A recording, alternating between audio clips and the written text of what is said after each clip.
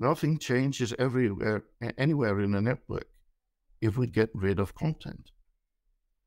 Plus, of course, that there's a lot of European content too. And if we just start charging the Americans, we probably will start charging the Europeans too. And the other element is um, almost everybody already pays and pays a lot. And particularly in countries like Germany and France,